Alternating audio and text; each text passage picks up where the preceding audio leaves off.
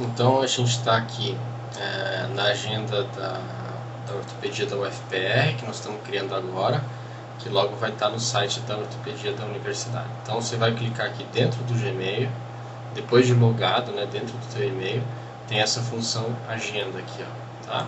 Clica aqui. Então aqui vai pedir se bem-vindo ao Google Agenda e tal, porque é a primeira vez que nós estamos acessando. Depois ele já não dá mais essas opções. Clica em continuar e você vai cair na agenda, tá? Uma outra opção é você ir no Google mesmo e digitar é, Google Agenda. Então vai aparecer essa opção Google Calendário. Se você clicar aqui, vai entrar é, no mesmo local, tá? Então existem várias formas de visualizar a agenda dia, semana, mês, é, compromissos, quatro dias. Eu gosto de ver mensalmente. Isso é pessoal. Quando você for clicar no novo evento, nós vamos clicar um, vamos criar um novo evento aqui no dia 9. Basta clicar com o botão direito e vai abrir essa tabela de eventos. Aí você coloca aqui aula teste tá? e cria o evento. O evento já está criado. Tá? Se você quiser, clica nele de novo e existe essa opção aqui, editar detalhes do evento, tá?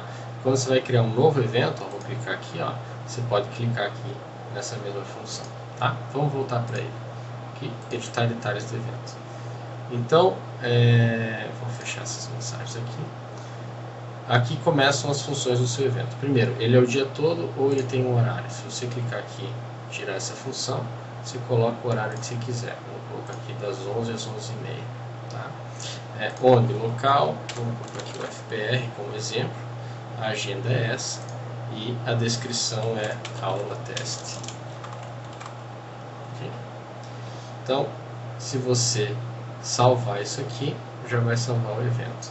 Aqui, se você quiser, você pode adicionar um lembrete, ou seja, um e-mail, é, em 10 minutos antes vai ir para você ou se você quiser dias ou semanas antes ou horas antes, você pode escolher. Ou um pop-up vai aparecer também para você dias, horas ou semanas antes. Eu não gosto de lembretes, eu tiro.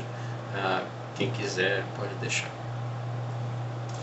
Ok? Então é assim que se cria um novo evento na agenda do Google. Ó, daí ele já aparece aqui como 11 horas.